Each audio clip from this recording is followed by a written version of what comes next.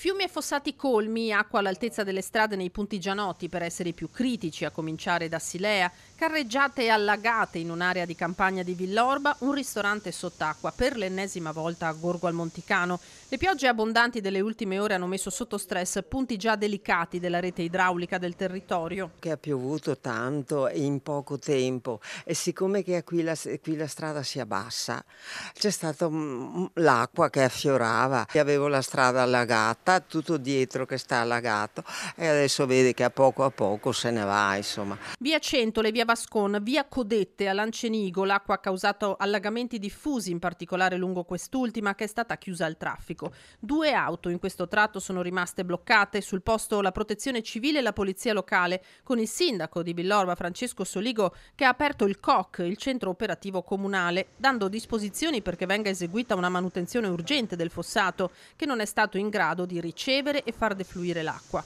A Silea, in via Macello, lungo il Melma, sono ricomparsi i sacchi di sabbia. Livello del fiume poco sotto i 2,30 metri e massima attenzione, senza però conseguenze significative. Meno bene è andata a Gorgo al Monticano, all'osteria Alta Quota, lungo la Postumia, allagata per la terza volta in un anno sappiamo che c'è stata una precipitazione molto forte, però eh, ci siamo allagati completamente, abbiamo allagato sia la sala con il parquet, il pavimento in parquet, che la cantina dove abbiamo il magazzino, abbiamo tutte le attrezzature e quant'altro. Nella cantina eh, c'erano circa 7-8 cm di acqua. Il locale è sia sotto il livello della strada che gli edifici vicini e proprio dalla statale, dal parcheggio e dall'area residenziale l'acqua scendeva verso l'osteria. Qui per terra c'erano circa 20 cm d'acqua circa e l'acqua non deflu cioè defluiva ma defluiva pian pianino.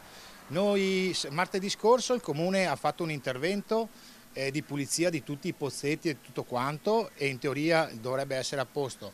Il problema è che chiamando il comune, chiamando il genio civile, chiamando il, il, consorzio di bonifica, nessuno mi sa dare una risposta di quale sia eh, la soluzione. Il ristorante è rimasto chiuso per buona parte della mattinata, aprendo solo verso ora di pranzo. Qui siamo nel, nella cantina, diciamo il magazzino, dove noi teniamo tutte le bibite e quant'altro. E nel pavimento si vede che sta ancora uscendo dell'acqua, pur avendo asciugato da questa mattina ed è aperto Qua c'era tanta acqua così stamattina qui dentro, perciò...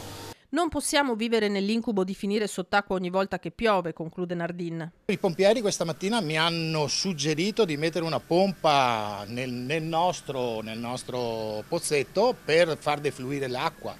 Eh, ma io non posso eh, permettermi di buttare l'acqua nel Monticano perché penso sia vietata. Eh, io sinceramente chiedo che qualcuno si attivi per, eh, per poter risolvere questo problema. In qualche modo bisogna trovare una soluzione.